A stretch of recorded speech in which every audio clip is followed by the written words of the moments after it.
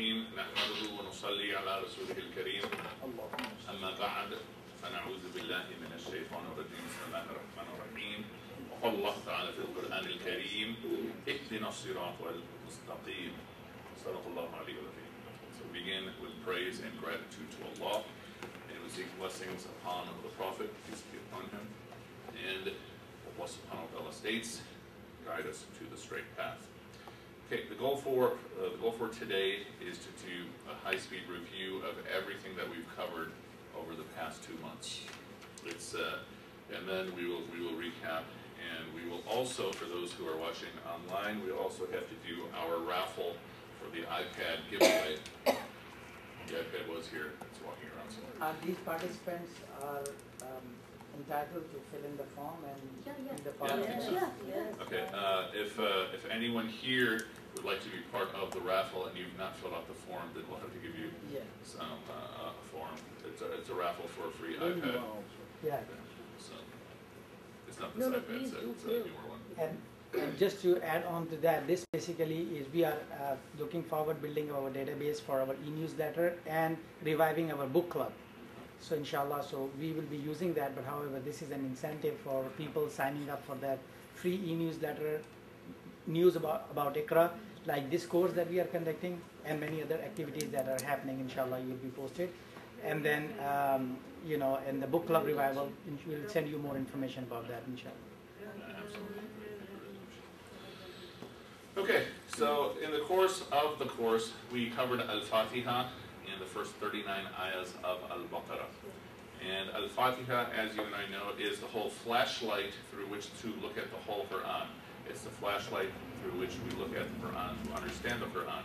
And think about this even when we are in Salah, when we're in Salah, when we're in Namaz, we recite Al-Fatiha and then we recite a few ayahs after that. Part of the idea here is you are understanding those ayahs that you're reciting in the light of Al-Fatiha. That Al-Fatiha, even the ayahs that seem to be very, very frightening, we are understanding them through Al-Fatiha. And a central message of Al-Fatiha in our discussion was the idea of Alhamdulillah. Praise and gratitude are due to Allah. Praise and gratitude. Often this is only translated as praise. This is praise and gratitude. Now, the question that I raised at the very beginning of our class some seven weeks ago was, can someone have a connection with Allah subhanahu wa ta'ala? Can someone have a connection with God without the Quran? And we said that the answer was yes. You can have a connection with Allah without, without, without the Quran. You can have a connection with Allah without Islam. You can have a connection with Allah without religion.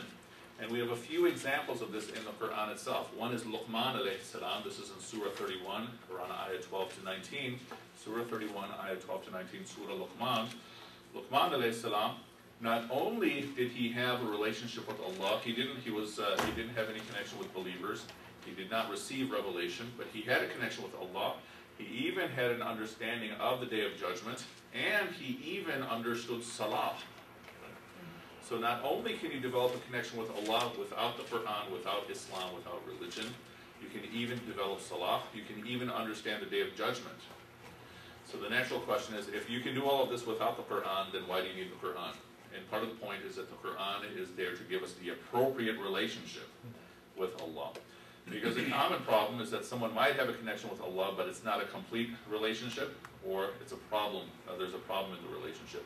And I made the point that very often when I ask Muslims even, when you think of Allah, what is the first attribute of Allah that you think of? It should be mercy, right? When we think of Allah, the first thing you think of should be Rahman or Rahim. But some people, especially young people, will say anger.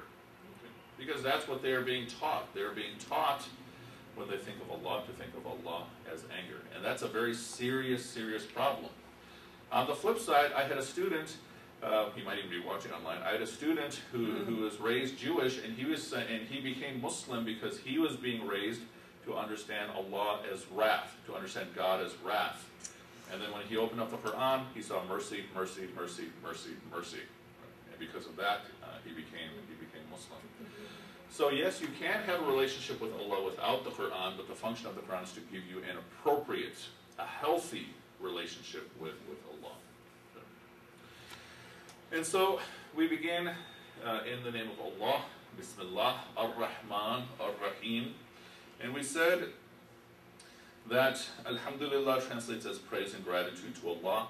Rabbil Alameen translates as what? It translates in our in our books often as Lord, but more accurately, the one who takes you from immaturity to maturity according to your unique design. Immaturity to maturity according to your unique design. And what is part of the point for us to understand? Because we already understand this, but that Allah has an intimate relationship with everything. He is intimately involved with everything. And again, uh, if you've been Muslim even for even a little amount of time, you already understand this. A lot of people in our society don't. That Allah is involved with everything, even the movement of every single molecule, the movement of every single of every single hair or every single blade of grass. And He is nurturing every every single moment, right? just like a very much like a parent. In fact, the word Rabb, Rabbayani Saghira, this is a, this is an attribute that we also use in relationship with Allah, or with, uh, with our, uh, when we speak about our parents. And then we see that Ar-Rahman and Ar-Rahim, mercy is mentioned four times. We say Bismillah, Ar-Rahman, Ar-Rahim, Alhamdulillah, Rabbil Alameen, and then again Ar-Rahman, Ar-Rahim. And so the question is that if Allah is so merciful, that His mercy is mentioned four times, and what does the mercy mean? Uh, uh, one meaning of the mercy, Ar-Rahman, is He is the highest in mercy. What is Ar-Rahim? He is the eternal in mercy. If He is so merciful, then how do we have suffering? And we said that's part of the design. That it is a promise that every single person will, will be hit with some sort of suffering. That's a promise, that's a guarantee. But you will not be hit with any suffering you cannot handle. Okay? Allah does not give us a burden we cannot bear. This is a promise at the very end of Surah Al-Baqarah. This is in ayah 285 and 286. But what else do we know? That this world is also not fair unless you include the Day of Judgment. Because I gave the example at the beginning of the course. What do you, how do you explain mercy when we speak of a baby that's born addicted to drugs? Right? The baby didn't do anything. The mother did something. Yet the baby is the one who is suffering. And suppose the baby lives for a year, maybe two years of constant, constant pain, constant suffering, and then the baby dies. From the perspective of dunya, okay, that's not fair at all. Okay, that's not fair. Right? Just like we might have some people who are good people, and then Hurricane uh, Katrina comes and it wipes out their whole life. Okay? Or a tsunami comes in and wipes them out, or an earthquake, earthquake comes in and wipes them out. Or, like what we're seeing in the Middle East, we have all these societies where people are being exploited by the leader, but they didn't do anything wrong. And part of the point here is that if you do not include the day of judgment, then this world is not fair. Because on the day of judgment, everything is made fair. That each and every one of us, at the bare minimum, we will see on the day of judgment that justice is being served. And this, we all understand this, but the point is to really, really think about this. Because when something wrong happens to us, keep in mind that on the day of judgment, that person is going to have to pay. If we do wrong to someone else on the day of judgment, we're going to have to pay for it unless we seek forgiveness or unless we, unless we perform. But the point again is that this world, in terms of morality, is not fair unless you include the Day of Judgment. And this brings us to the middle of Al-Fatiha. We say to Allah, إِيَّاكَ نَعْبُدُ وَإِيَّاكَ نَسْتَعِينُ You alone we worship, you alone we ask for help. And this word worship, the question is what do we mean by worship? Worship, what do we usually mean in our society? You pray in a particular way, you have some rituals that you go through for whatever it is or whoever it is that you worship. You're hoping for some reward or you're hoping to avoid some punishment. Worship in, in terms of ibadah, abd, as in Abdullah, what is it? It is the most extreme form of love. That when you love your object of love, when you love your beloved, what do you do? You value your beloved, you value what your beloved values, you hope that the beloved will return the love, you fear that the beloved will not return the love. What else? You might even change yourself, become like what your beloved wants. You hope to be in the company of your beloved. This is love. Deeper than love is to adore. And when you adore, you're putting the beloved above you on a pedestal, so to speak. But then deeper than that is worship. And what do you do when you worship? You surrender completely. And so when we are saying to Allah, that you alone we worship, we are saying that you alone do we give this most extreme form of love. We surrender ourselves completely to you. We enslave ourselves completely to you, voluntarily, lovingly. Complete, complete surrender. Now, keep in mind that the way that the grammar works, we are saying to Allah, you alone we do worship, you alone we will worship, we do not worship anyone else, we will not worship anyone else. Iyaka. Four meanings right there from the start. In, so you alone we do worship, you alone we will worship, we do not worship anyone else, we will not worship anyone else. Okay? All of us simultaneously.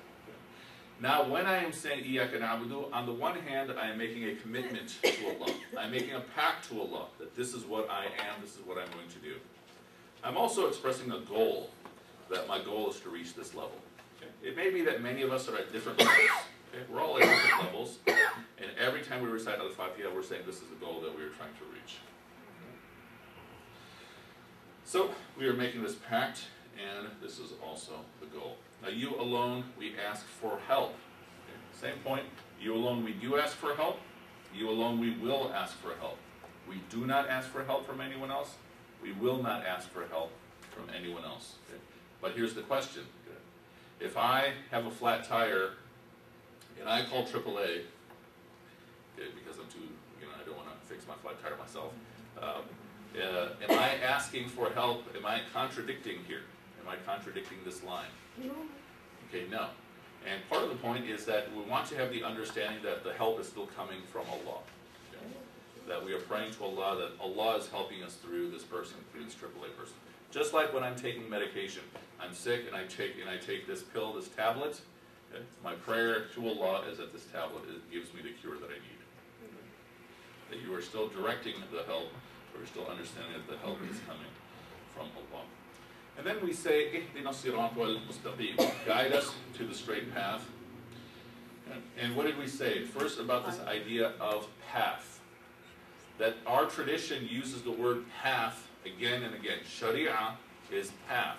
Path that leads to relief, path that leads to water. Tariqa is path, path that removes obstacles out of the way. Right? Even uh, madhab, when we speak of the schools of law, this is the direction that you're, that you're going. Sira, when we speak of the biography of the Prophet, peace be upon him, this is, this is the walk that someone has done.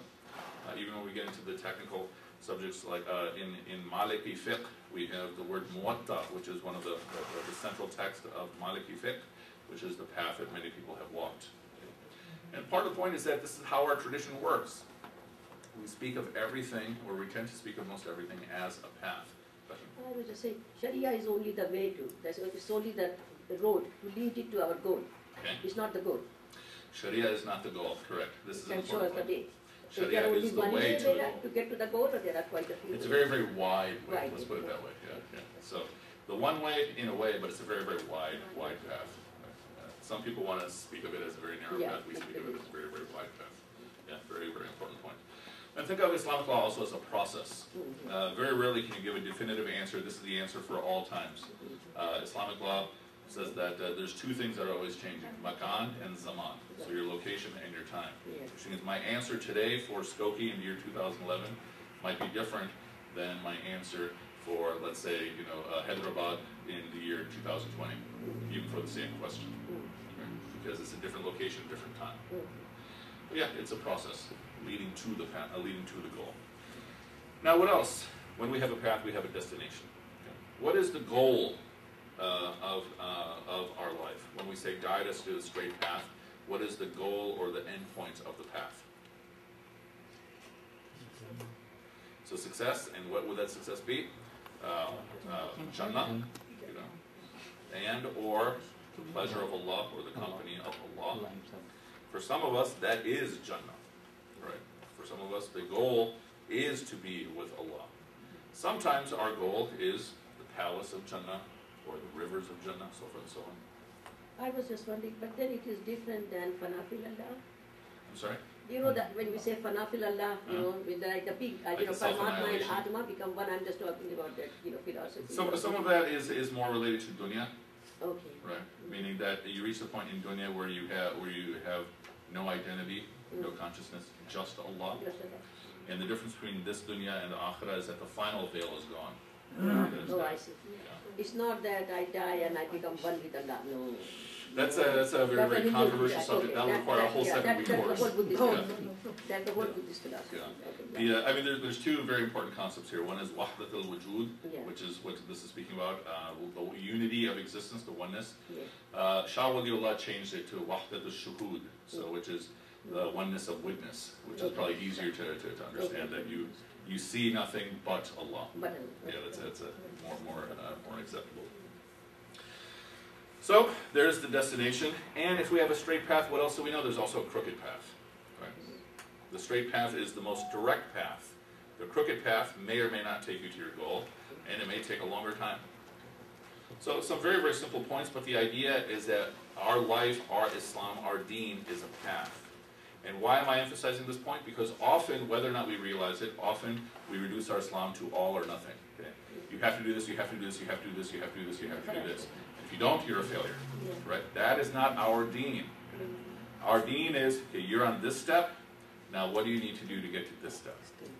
Now what do you need to do to get to this step? Okay. So uh, Ramadan is beginning. We have one person who prays all the prayers in the mosque, who at night does all of the Taraweeh prayers in the mosque, okay, and smiles all day long. Okay. We have another person who might fast one time in Ramadan. Maybe makes it to the masjid one time. Okay. Okay, we don't say this person is fantastic, that other person is a failure. No. For the first person, what can the first person who does all the fasts, all the prayers, everything, what can that person do to improve? Because everybody has space to improve. And likewise, for the person who only makes one fast, what can that person do to improve? Again, we are all at different levels on a ladder or on the stairway. And so the goal is to figure out what step, what level am I at, and then how do I get to the next step? Because what did the Prophet teach us, peace be upon him? He was asked, what is the best of actions? He says, the one that you do consistently, even if it is small. That one hadith affected my life tremendously. Go for a consistent behavior, even if it's small. So if you're someone who, who hasn't fasted, maybe you've been Muslim your whole life and you're 50 years old and you've never fasted, so then may you make it your goal that maybe in this Ramadan I will do one fast. Okay? Or I'll do five fasts. The point is that you keep improving, step by step by step. Our deen is not all or nothing, where you do everything and if you don't, you're a big failure. Okay. Then we define this path, the path of those whom you have favored, not the path of those on whom is anger, nor of those who are astray. And a key point here is that when we speak of the favors of Allah, we already agree that everybody has received favors from Allah. There's nobody who has not received favors from Allah. The Pharaoh received favors from Allah. okay? Uh, all of our neighbors, whether we know them or do not know them, whether they're Muslim or not Muslim, everybody has received favors from Allah. Every blade of grass has received favors from Allah. So when I ask Allah, guide me to the straight path, the path of those whom you have favored, what am I really asking for?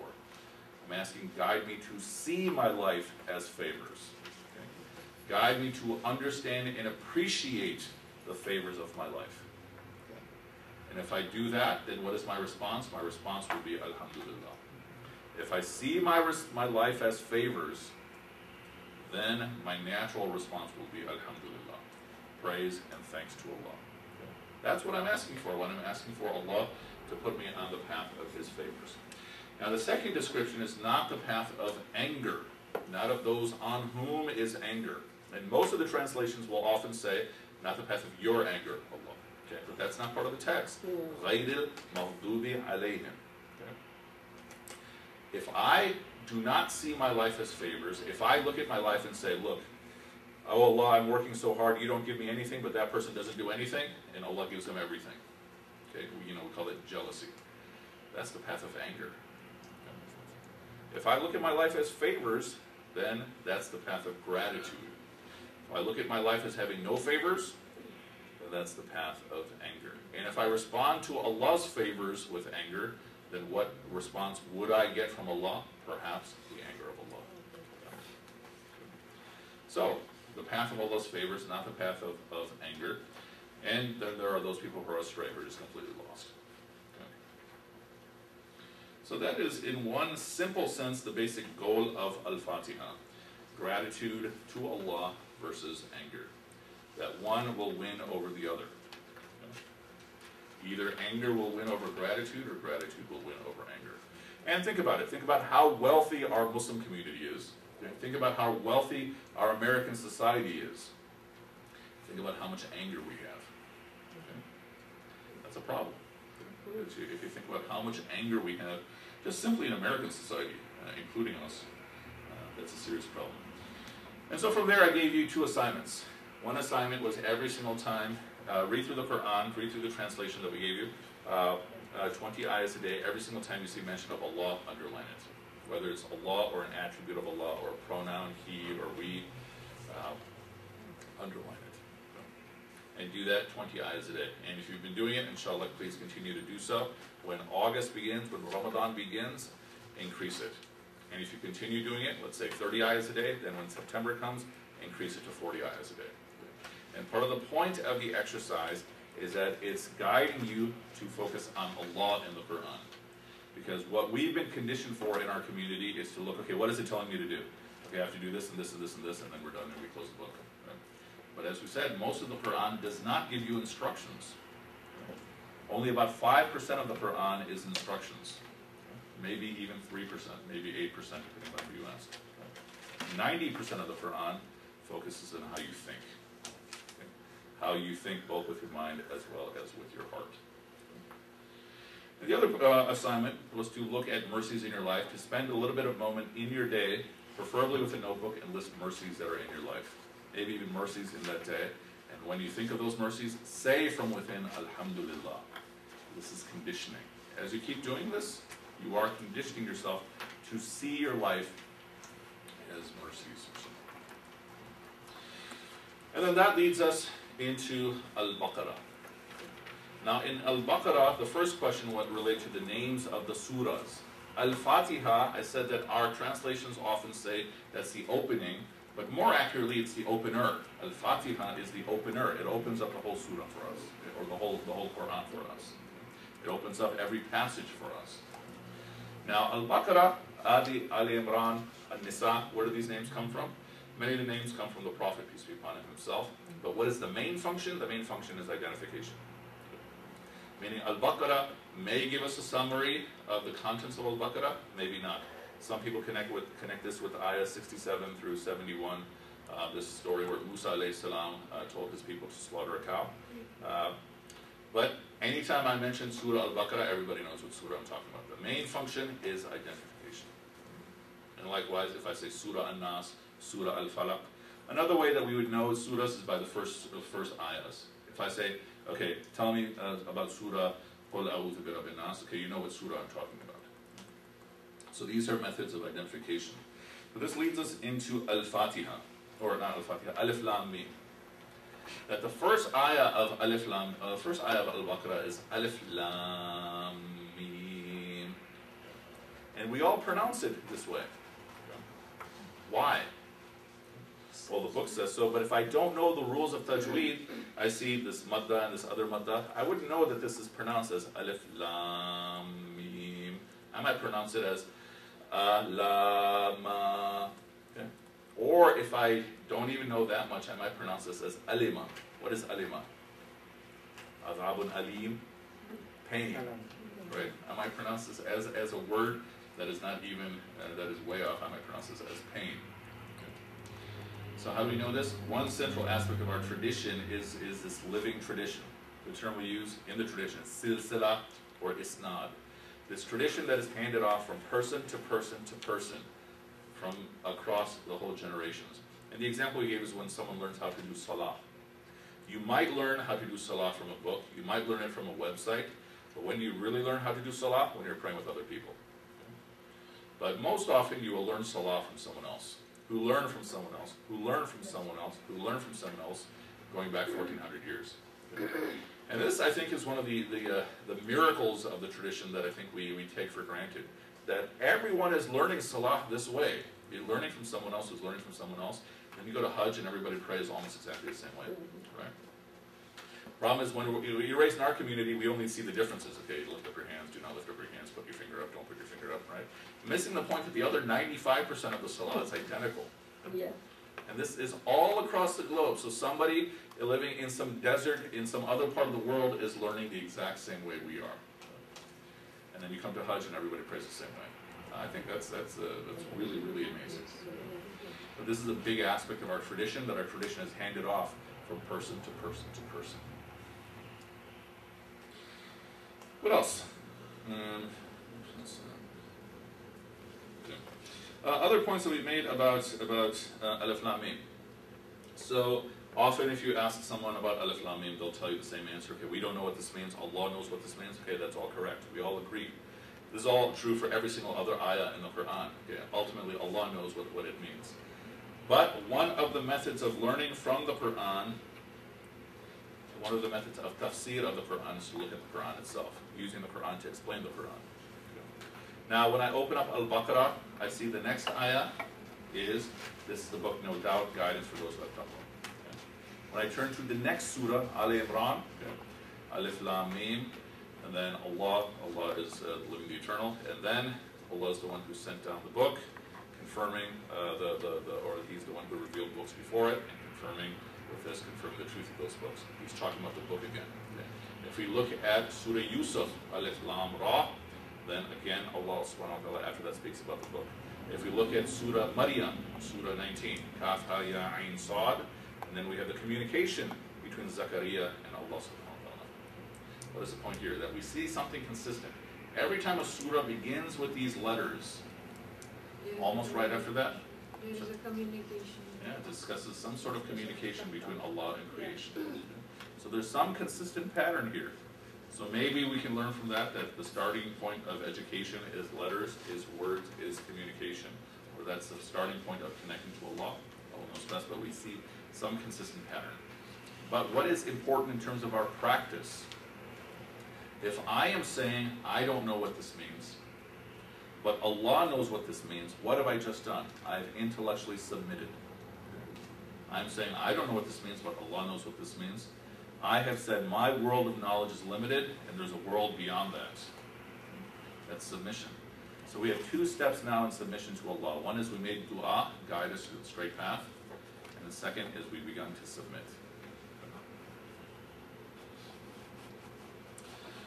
Now, this book, no doubt, in it, it is guidance for those who have taqwa. Uh, a small point, at least some of these slides are very, very messy, that's my fault. Uh, when we look at the Arabic, it says, ذَلِكَ الْكِتَابُ لَا رَيْبَ Then fihi, and before fihi we see three dots, after fihi we see three dots, هُدَى لِلْمُتَّقِينَ. Okay. And we said that this, uh, this uh, we learned this in terms of tajweed rules, that what is this punctuation? You stop at one or you stop at the other. And what does that mean? That we have two sentences in this ayah simultaneously. One is, this is the book, uh, this is the book, there is no doubt in it. it is guidance for those who have taqwa. So the book has no doubt in it, and the book is itself guidance. The other is, this is the book, no doubt, no doubt about the book, in it is guidance for those who have taqwa. Small point, but significant, that the book is doubtless, and the contents of the book is doubtless. Again, I met a person 15 years ago in the, in the far south suburbs who became Muslim because of this ayah. Because this book is claiming categorically, okay, there's no doubt about it. Now think about this, uh, you know, I teach in the liberal arts. One of the ideas of the liberal arts is that, okay, there's no more absolute truth. You have your truth, I have, you have your truth, I have my truth, and that's that, don't bother me, I don't bother you. Right? This is essentially, you know, a recurring, a recurring theme even though nobody nobody practices it. Okay. Here we're saying no, there is an absolute truth. There is an absolutely an absolute truth, which means there's definitely falsehood also. But what about the word kitab, which is almost always translated as book? How else did we translate kitab? Does anybody remember? Because at the time of the Prophet, peace be upon him, the book, uh, the Quran was not in book form. When was it put into book form? Okay, we're often taught Osman was taught under Abu Bakr. It was put on, under Abu Bakr. Right? That uh, uh, during the Ridda Wars, uh, many of the uh, many of the of the Hufaz, many of the people who had the Quran memorized, began to die. And Omar said to, to Abu Bakr, may Allah be pleased with them both, we need to put the Quran into book form because if these people all die, the Quran will be gone. And Abu Bakr's response was the classic response of the Sahaba. Yeah. He said, how can I do something that the, that the Prophet peace be upon him, didn't do? Right? I mean, that is, that is what we think of when we think of the Sahaba. And then Omar convinced him, and they decided to do it. This was a bid'ah, right? Everyone likes to use the bid'ah, the, the hammer of bid'ah. This is a bid'ah. This is a good innovation. They put the Quran into book form because the Prophet, peace be upon him, did not do that. This was completed by the time Abu Bakr died, which was two years after the death of the Prophet, peace be upon him. Under Uthman, may Allah be pleased with him, they standardized the script. So, what else does kitab mean? It means prescription. Kutiba alaykum siyam. Kutiba alaykum al Written for you, prescribed for you is siyam. Written to you, prescribed for you is fighting. That's a different class. But this is the prescription, no doubt. In it is guidance for those who have taqwa. The other big word in this in this ayah that we have to translate properly is taqwa. Taqwa is often translated these days as fear, okay? as fear of God. There are other words that speak of fear, right? Uh, taqwa is shield, right? We are taking Allah as a shield. Okay? What does that mean? That whatever happens to me in dunya, whatever happens to me in this world, whatever people throw at my way, Allah is my shield. Alhamdulillah. So this is guidance for those who have taqwa. And then the question is, well, what if I do not have taqwa?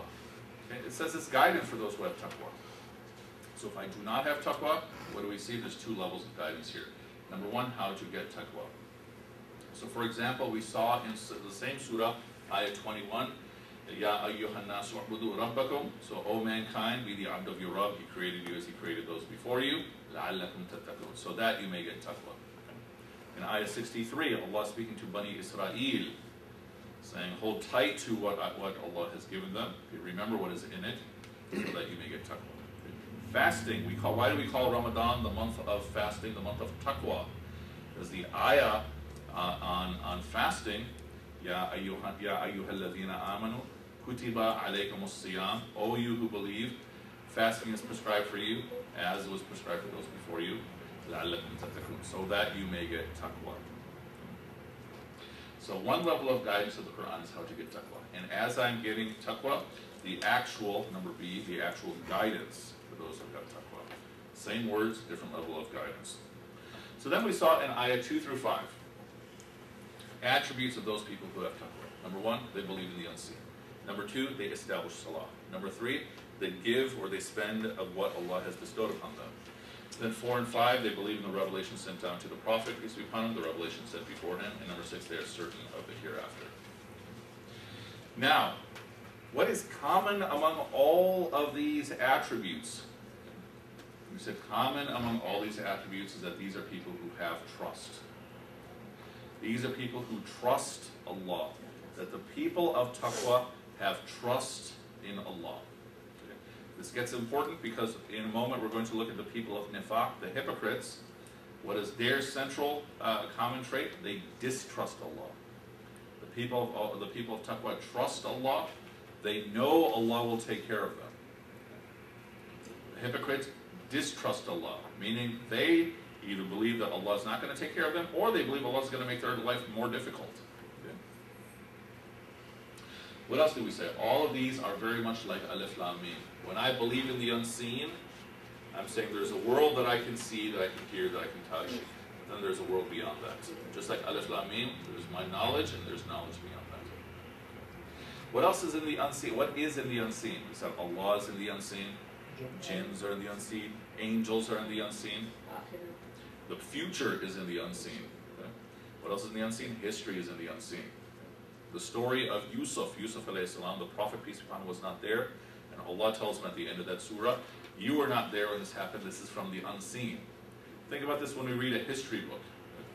I'm trusting that what is in this history book is actually what happened.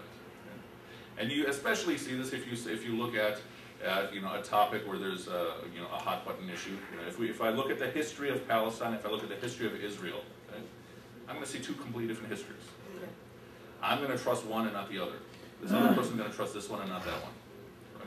It's a matter of trust. History is part of, of, of trust. They establish salah. Now, how do we define this? Number one, that it becomes part of your normal practice. Breakfast, lunch, dinner, five daily prayers, it's part of normal practice. We also said at a societal level, this might be part of the routine of society. Sunday, you have a lot of people who go to church, a lot of people who go watch football. Okay, that's part of the routine of Sunday. Monday, the routine for most people is you have rush hour, you know, 7 a.m. to 9 a.m. You have the work day, you have a break, you have more work, you have lunch, so forth and so on. Rush hour going home, you have prime time. So you are ongoing in this process of establishing that. But the next one, infaq. How do we define infaq? Because we, uh, this is often translated as a give of what Allah has bestowed upon them. What is infaq? Anybody remember? You raising your hand? Sorry. Okay. Okay. You are giving to the point of exhaustion. That the people of taqwa, they don't just give charity. This is not just zakah. They are giving to the point of exhaustion. They give and they give and they give and they give. And in the Quran, what does it speak of giving? Your wealth and your soul. Right? Your wealth, all the different types of wealth you have, and your time. You give and you give and you give. It's give to the point of, of exhaustion. Now, in terms of belief in the previous revelations, number five, uh, we this is uh, for most of us, this is very, very basic. That we believe in all the revelations that Allah sent down. We also believe that all the revelations that Allah sent down have the same core message, La ilaha illallah, in the different languages. The content beyond that might vary. The Sharia of Musa salam is different than the Sharia, uh, the Sharia of Muhammad. But all of them in their original form, we believe in all of them. But we also believe that these books have been lost or tampered or changed. Quran has been preserved. The last attribute of those who have taqwa is that they're certain of the hereafter. Now, here, part of our discussion was I asked you, think of anything and everything that you are certain of, that you are absolutely positive of. Okay? One thing is that you're going to die. Okay? We're all certain we're going to die. If we have a certain level of faith, we might say that we're certain in uh, belief in Allah, we are certain about akhirah, and so forth and so on. At the very least, we're all certain we're going to die. Think about that also. Uh, how would it affect your behavior if your doctor told you that, okay, according to all of our measurements, you're going to die on Sunday? Okay? How would that affect your conduct? Okay? You have four days left, two days left. Yeah. Do a lot of toba. Yeah. But this, I mean, this is what we all tell ourselves, right? This is what we say at the Jummah. Okay, okay, pray as, as though this is your last prayer. I mean, we, we say it so many times that it begins to lose its meaning. Yeah. It's not told by the doctor, no. Yeah, It just yeah. read it, yeah. Yeah, the doctor says pray as though it's your last prayer unless you still have outstanding bills. Forgive everybody and ask forgiveness from everybody. I'm sorry? We know what time, forgive everybody Okay, so you forgive everyone. and ask forgiveness from everybody. Mhm, mhm. That we can do even now. Sorry? I said that we can do even now when we start fresh. Yeah, absolutely. Yeah, you, you you really see this consciousness when people are going on Hajj. Because then suddenly everyone starts forgiving, everyone is hugging each other, and you go on Hajj and everybody starts yelling at each other. Okay, Iman. Iman, we commonly translate this as faith. But what does Iman literally mean? It means you have such a level of security that people around you feel secure. I'm in the class. This is Iman.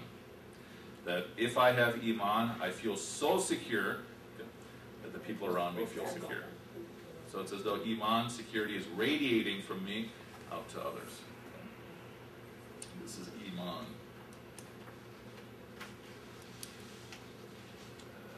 And then in ayah 5, أُولَٰئِكَ عَلَىٰ هُدًى مِّن رَبِّهِمْ وَأُولَٰئِكَ هُمُ الْمُفْلِحُونَ Okay, These people have guidance, and these people are successful. And how do we define success? We say success in the akhirah? Definitely. Success also in dunya.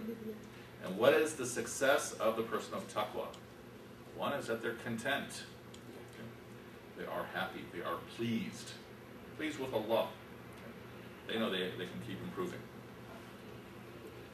Uh, what is another uh, another of the successes? You understand how everything works. You understand what is important, what is not important. One of the one of the uh, one of the joys of aging is that when you're young, you worry about everything. You don't know what you're supposed to worry about, what you're not supposed to worry about. As you get older and older, you realize okay, all those things I worried about, I don't need to worry about anymore. Part of taqwa is that you understand, I don't need to worry about these things, but I do need to worry about these things.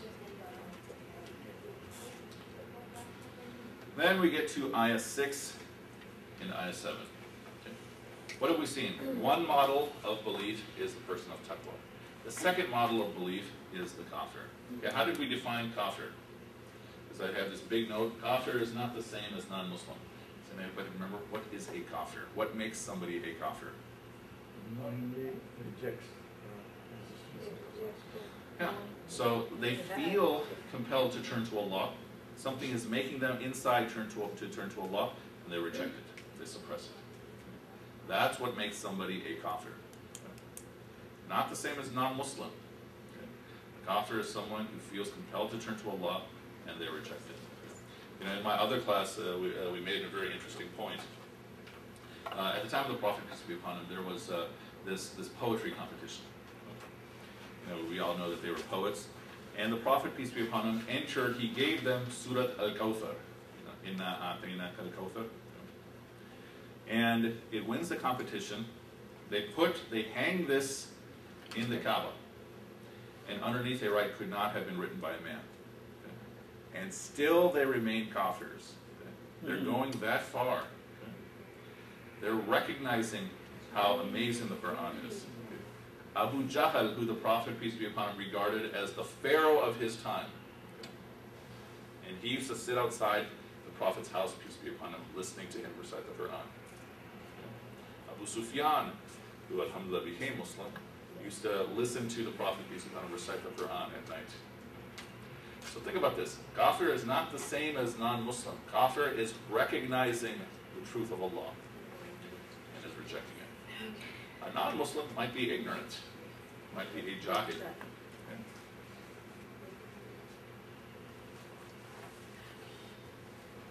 So kafir is someone who has rejected. And in this ayah, it's past tense. Inna ladina kafaru, this is past tense, someone who has rejected. It's all the same to them. If you warn them or do not warn them, they will not believe. And we raised the point about the fitrah, that in our belief, everyone is born on fitrah. We have a hadith that says everyone is born on fitrah, and their parents make them Jewish, Christian, uh, Magian, Majus, Zoroastrian, so forth and so on. There are a few elements of the fitrah. We believe that everyone is born with some sort of consciousness of Allah subhanahu wa ta'ala, that you're born with it. It's part of your wiring. We believe everyone is born with a consciousness of right or wrong, right? When you have a baby, when you have little kid, a little kid knows especially when, when they're doing something wrong, you know, when they're crossing a boundary. Because that's when they really start behaving, they get quiet, right? You know, so now I have, I have Baba's phone. you know. They have a consciousness of, of, of right and wrong. But this pure fitrah can get corrupted. But can also be repurified. This is different in our society, meaning our greater American society. One common view is you're born blank, you know nothing, you have nothing. But I had a student this past year who, who was a, a, a child psychologist, and she disagrees. She says everybody is born with something. Right? She says you can see it, there's, there's too much data to say that you're not, that you're born. Even the way you walk, right? You know, a lot of it is something more than just genetics. So we see in Ayah 6 they rejected. Okay? As for those who have rejected, whether you warn them or do not warn them, they will not believe. Ayah 7, Allah seals them off. And the question that we raise is, which is causing which? Now, for our purposes, you know, I have I make my choices, Allah judges me. But part of the reason I raise this question is because this is the question that hits college students the hardest, or one of the questions that hits college students the hardest. How can you have free will if Allah knows everything? If Allah already knows what I'm going to do, then I don't have choice. Right? Because we take it further, we say Allah makes everything happen. He's Rabb, Rabb of all the worlds. And for our purposes, just keeping it simple, we're saying that they are both true. That you have free will and Allah controls everything. That you have free will and Allah um, also judges you accordingly. And from the perspective of me having freedom to make my choices, the day of judgment is a day of justice. But looking at everything from the perspective that Allah controls everything, the day of judgment is what? Mercy. But Allah is deciding who goes to heaven, who goes to hell. Now, ayah 8 through 16, we'll look at this and then we'll stop for, for Salat al-Asr. We have the third model. What do we have at the beginning of the surah? We have three models. The person of taqwa, the kafir, and the person of nifaq, hypocrisy, the munafiq. Ayah 8 through 16.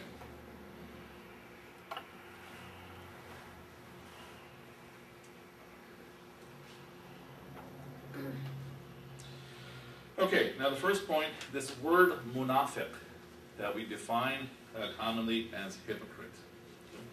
We said this is related to the word for tunnel, nafaq. And what is a tunnel? A tunnel is this, this tube that has an opening at one end and an opening at the other end. And there was a lizard that lived in the desert, probably still does, that would live in a tunnel in the desert. And if a predator came from one end, the lizard could escape out the other end. Another word was related to this, this uh, a certain type of fort that if the army was coming from one side, there was always a back door you could escape out of. And a hypocrite is very much like this. A hypocrite is always looking for a way to escape.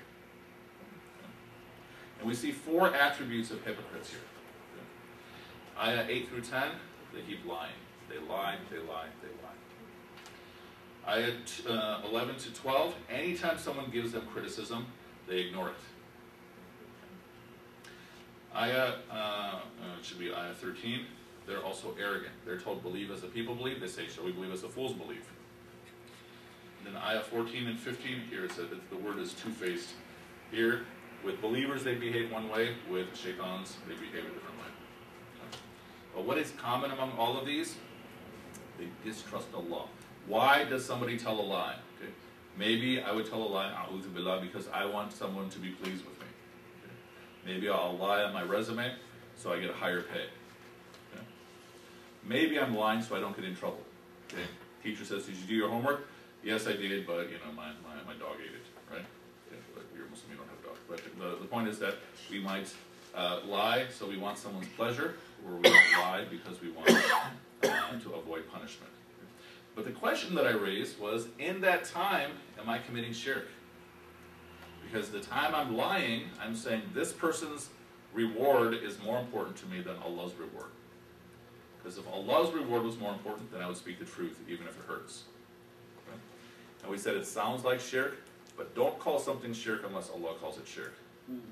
Shirk is like kafir, shirk is another one of those huge words you don't want to start giving to everything. Okay? That's very, very irresponsible that a lot of people do. This is shirk, this is shirk, this is shirk.